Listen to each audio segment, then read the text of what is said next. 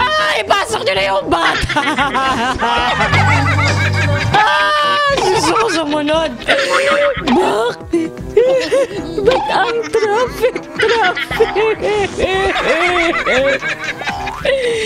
Ihing-ihin na ako. Anong mabisang gamot sa sakit ng ulo? Corny to, corny to ha. May, sak may sagot ako dyan. Pukpukin mo yung paa mo. Para sa sobrang sakit ng paa mo, makalimutan mo na masakit pala ang ulo mo. Yee! Sagot. Hindi, nag, sinusubukan ko lang maging artista. Bakit ako naiiyak? Oh, naiiyak ako. Natouch ako, guys. Thank you. Alam niyo pag naiyak na gano'n.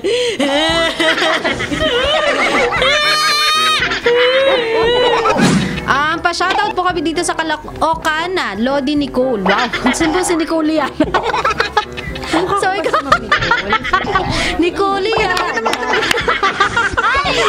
Wow. Ma'am, oh. Joke lang, ma'am. Ma'am. You? You're 50, then you're 60. Attend your school. I did. Yung 50 ka na daw. Oo, sabi niya. If I'm 50, I'll be like this. I mean, you're 60. What, 60? Yeah. No. Grabe siya.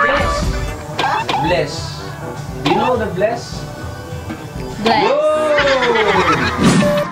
Download mo na kabisyo ang Love Radio PH para araw-araw GB-GB good vibes dahil dito walang hate.